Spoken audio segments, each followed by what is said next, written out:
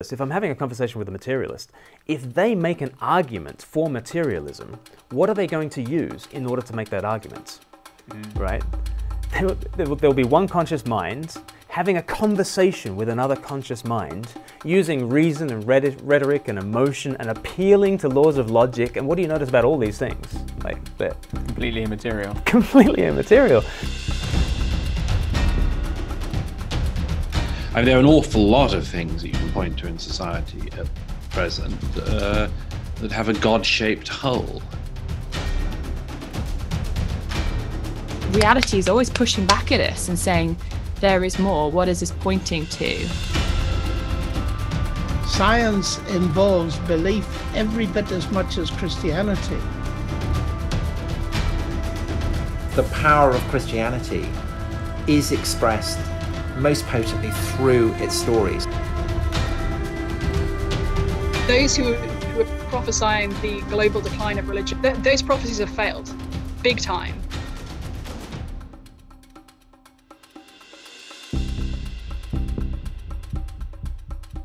So, on this episode, we're thinking about science, rationality, and consciousness. Um, and surely this is the, the real defeater for Christianity, because I'm always hearing people say, well, science and faith they're enemies. Um, have you come across that kind of objection before? Have I? Oh my goodness!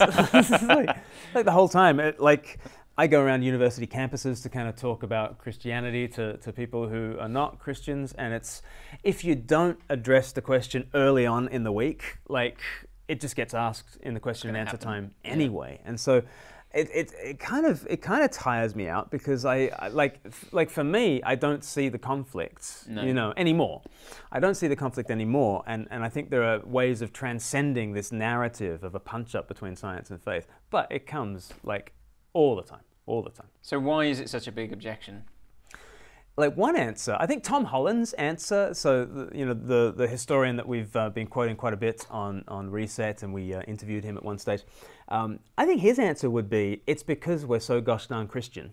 Mm. Um, and in particular, we, we are out of this um, tradition that, okay, the first eruption of Christianity was the first century, and then there were further eruptions in the 11th century.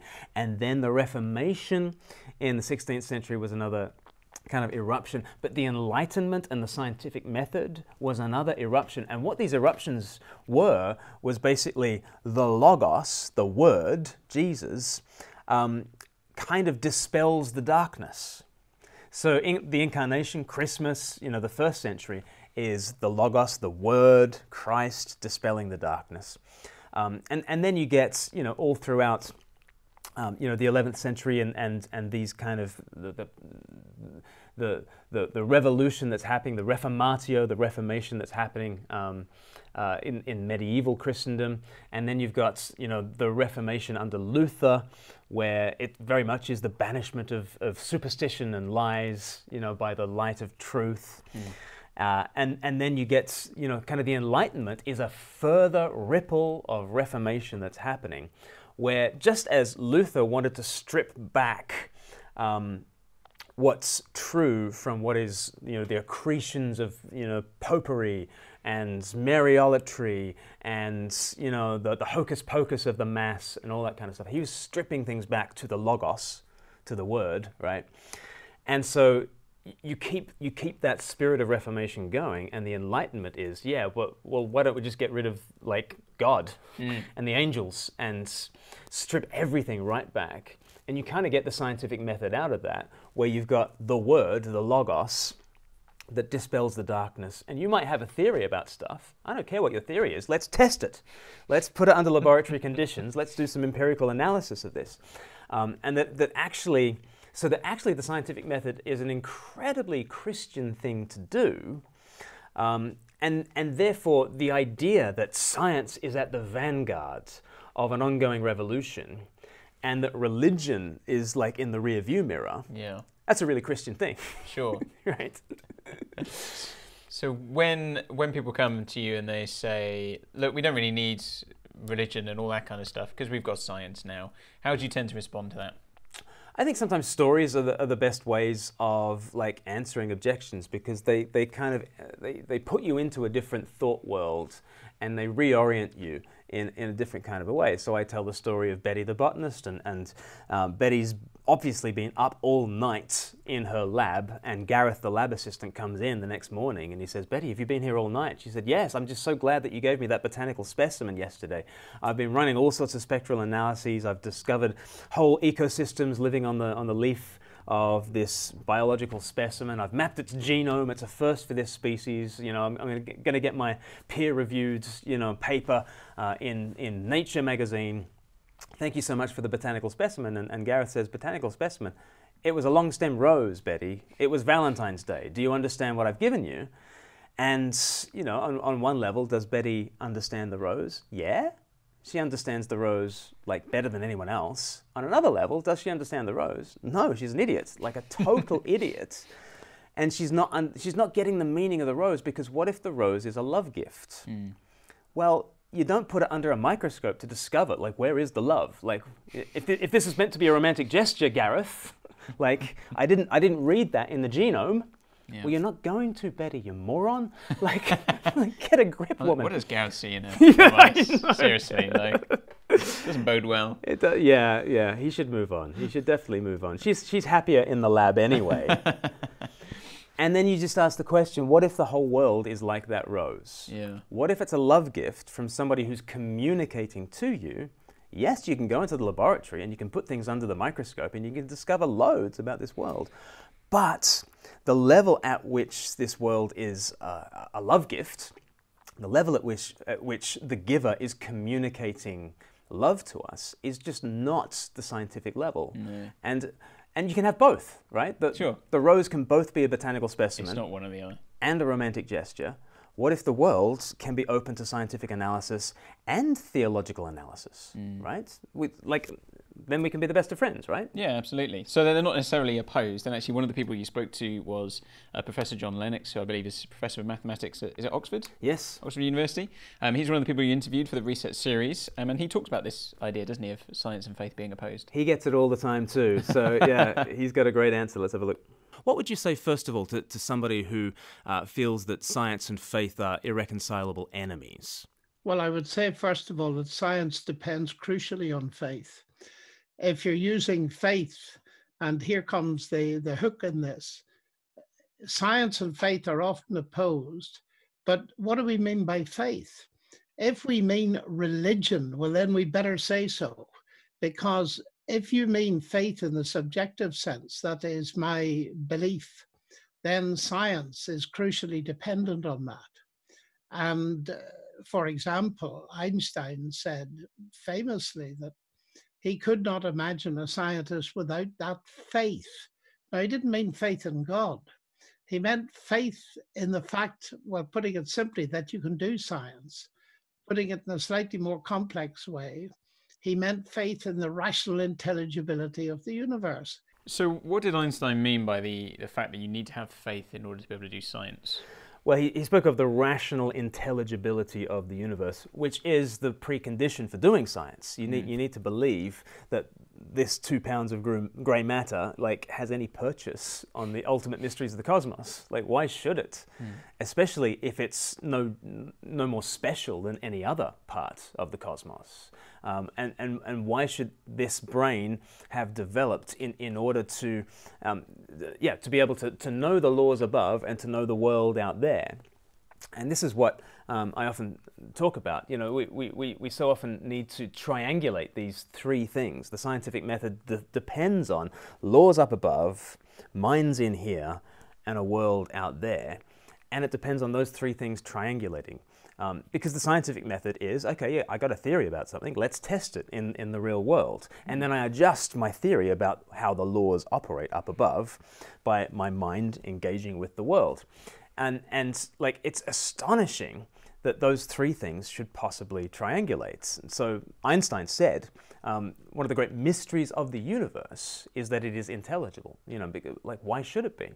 Um, why should it? Why should it be a cosmos? Why is it not a chaos? Why does it? Why does it operate according to these iron laws of, of uh, you know, uh, these regularities that are the same here and on the far side of Alpha Centauri. You know, what, why, why should the universe be like that? And why should my mind actually have a window onto that, that kind of thing. So, you know, if, if, if you say that, you know, science is the eradication of miracles, it's not. Science depends on a miracle.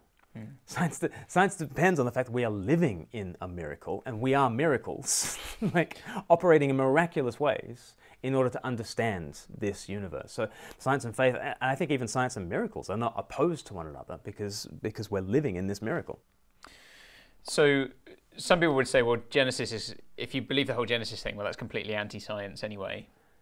Um, but what tools are there, do you think, in the Genesis story for us to help uh, help us do science? Okay. All right, well, I'll, I'll do Genesis 1, you do Genesis 2, okay? Okay. And then we'll think about Genesis 3. But Genesis 1, I mean, what do you have in Genesis 1? I mean, you have laws up above, minds in here, and a world out there. It's astonishing. You have in the beginning, God created the heavens and the earth, and it talks about these regularities. There was evening and there was morning, and there are the stars in their courses, and there, there are seeds that give rise to plants that give rise to fruit, that gives rise to seeds. And you have these cycles of nature, you have these regularities, you have laws up above, right? Uh, as, as John chapter 1, reflecting back on Genesis 1, says, there is a logos, there is a word um, that by, by which the, the heavens kind of operate. But then, Genesis 1.26, you get Adam and Eve, you know, humanity are made in God's image. In the image of God, He created him. So why should we expect, you know, this grey matter to actually have any purchase on the mysteries of the cosmos? Well, mm. what if my mind was specially made so that I could be in communion with the God of the cosmos? If that is the case, then, then I can start to trust my mind. Not trust it fully, because as we'll see in Genesis 3, there's been a fall, and so I might need to go out into the world and test things. I will need to go out into the world and test things. But what we have is laws up above, minds in here. And then in Genesis 1, humanity are told to have dominion over the worlds. Mm. We have a special place in the world. And every scientist knows that we have a special place in the world. Like if you're doing zoology, you know, you, you are studying the wildlife. The wildlife is not studying you, right?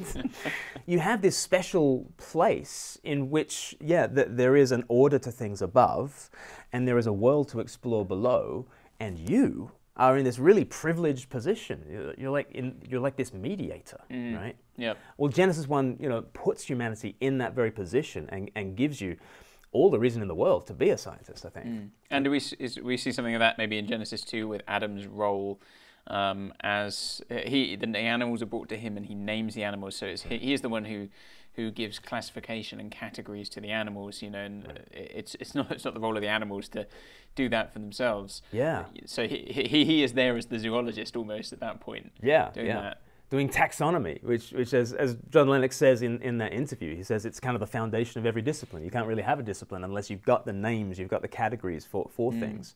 So, yeah, first job, Adam, you know, you're going to be a scientist, you need to get your taxonomy straight does that. And then I think Genesis 3 is really interesting about the fall and the fallenness of our minds.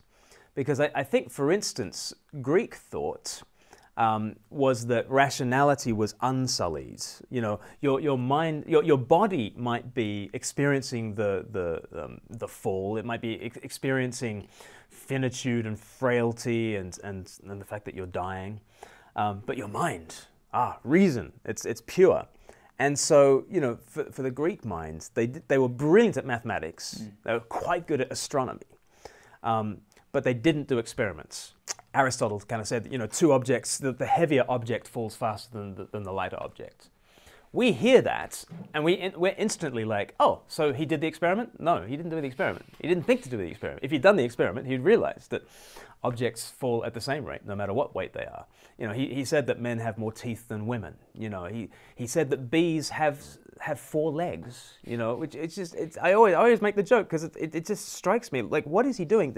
Does he have a bee crawling across his hands and he counts them, counts the legs, going one, two, three, four, three, four. Let's call it that. You know.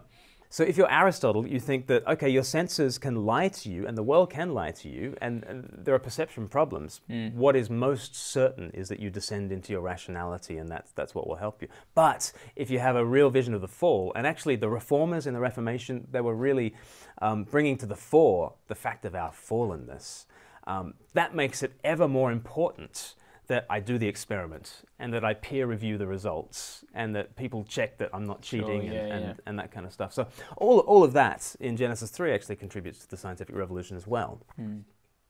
And so, are there reasons within science that would make us doubt whether actually mechanistic science can help us to understand the reality as we experience it? Yeah, and, and I asked that question to uh, Rupert Sheldrake, I, I, a really interesting professor, Mm. a- and um, I- I asked, you know, what is it within science that should make us think that science itself is not going to explain the totality of life? And this is what he said. So, what I'm doing really is showing that science has grown out of the philosophy of materialism, uh, which has been the kind of orthodoxy of science for over 100 years now. Um, but most scientists and most people outside science don't realize that uh, these assumptions are essentially philosophical assumptions, not scientific assumptions, and that the evidence uh, has taken us beyond them. Mm. For example, the assumption that uh, nature is a machine is just a metaphor. It's not a proven fact. And the, uh, and the metaphor that nature is an organism, the Big Bang's like the hatching of the cosmic egg, the universe is like a growing organism, is actually a better metaphor for the universe than the machine. Um, the idea that nature is purposeless, uh, which is a st- standard assumption, evolution has no purpose or meaning, follows from the idea that nature is a machine. Machines have no purposes of their own. The, the doctrine of the materialistic uh, worldview is that the universe is a machine. It's made up of unconscious matter. There's no consciousness beyond the universe. There's no consciousness within the universe because un- matter is unconscious. Then, of course, there's the problem that we are conscious. Um, so some philosoph- materialist philosophers try to pretend that we're not. They say that consciousness is an illusion or a meaningless epiphenomenon of the activity of our brains. But the trouble is, to dismiss consciousness as an illusion uh, doesn't really explain it because illusion is itself a mode of consciousness. Hmm. That's why the very existence of human consciousness is called the hard problem in philosophy of mind, because in a materialist universe, it ought not to exist. So consciousness is just this massive area um, within philosophy of mind um, and within um, science where the, the mechanistic view just runs out, really. And almost by intention. So um, both Rupert Sheldrake and John Lennox kind of mentioned uh, Thomas Nagel, who is a, uh, a philosopher who is atheistic, pretty much anti-theistic. Um, like he is very um, opposed to, um, to to faith and, and and opposed. He doesn't want the universe to be like this. Yes, Like like he, he's the guy who says, you That know, guy. yeah, we we must sort of bolt the door against all religious explanations. Um, no matter no matter how ridiculous the mechanistic, materialistic explanations are, uh, we cannot allow a divine foot in the door because he doesn't want the universe to be like that. Yeah. So this is this is what this is who Thomas Nagel is, and yet he writes you know a book that is called Mind and Cosmos: Why the Materialist Neo-Darwinian Conception of Nature is Almost Certainly False. Right. Right. Okay. Because because he's just looking at the mind-body problem, mm. right? And and how do you get from a brain to a mind? And even even you know the, the Australian philosopher David Chalmers, he, he said you know to go from a brain to a mind is like going from water to wine. Mm. It's a, like, and, and as John Lennox said in, in his thing, you know, a, a, a- kind of a brain scan can tell you the electrical activity of my brain, but not what I'm thinking.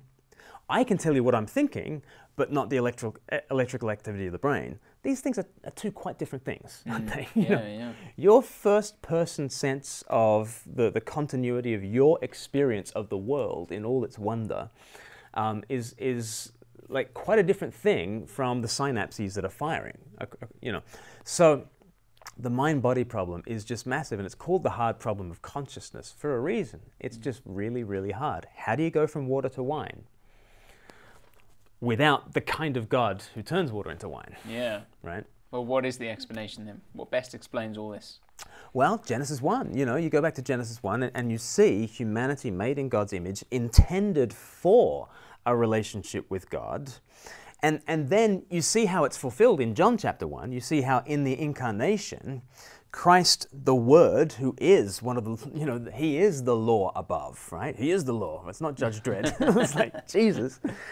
He is the Logos who like comes into the closest possible unity with us in this world and then we have, you know, so the Word became flesh, says John 1, verse 14, and we have seen his glory, the glory of the one and only. So we are intended to share in the glory of this one who's come down. And so if we are intended to have a communion, have a relationship with the law of the universe, then our minds must be to some degree capable of having that, that kind of communion. Um, but it's interesting, you know, John's gospel begins um, word and then cosmos, and then flesh, right? Begins with mind, and then world, and then humanity. Um, and actually, with that framework, consciousness makes sense.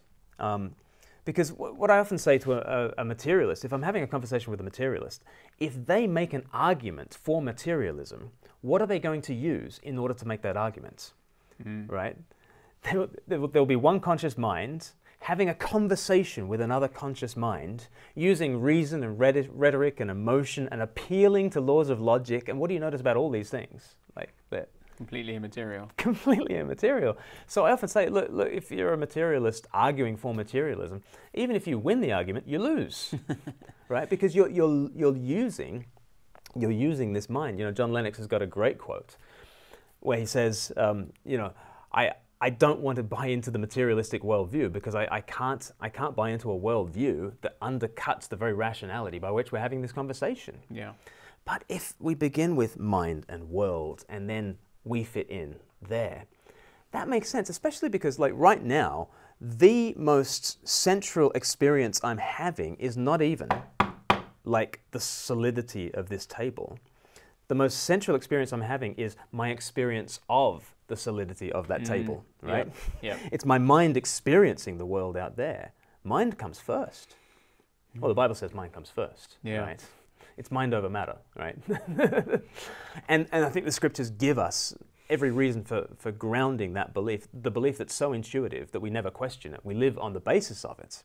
Um, but actually, materialism doesn't. I'll, I'll, just finish with this. Like materialism, the idea that um, matter in motion explains everything, leaves out all these different areas of our experience. It leaves out mind.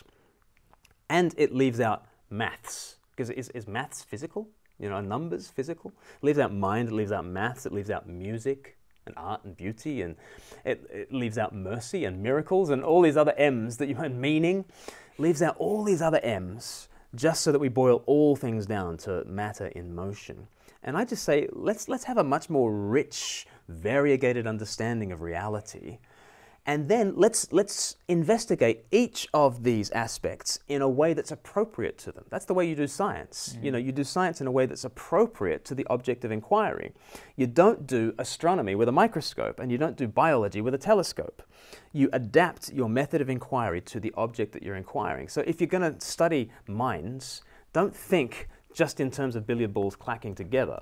Don't think in terms of matter in motion. And if you're going to study maths, it's not the same as the materialist explanation. And if you're going to study mercy and meaning and music and all these other things, miracles, um, you, will be, you'll be using a different set of apparatus in order to understand these things. Mm. Otherwise, you just end up being Betty yeah. in the laboratory thinking there can be no romantic meaning because I didn't see it under the microscope. Mm. But you know, don't be a Betty. No, no one wants that. No. Gareth shouldn't want that. Move on, Gareth. Yeah, yeah. you, you, can, do better, Gareth. Right. Well, there's lots more food for thought there um, in this episode, and we'll be back with our next episode where we will be thinking about story, truth, and beauty.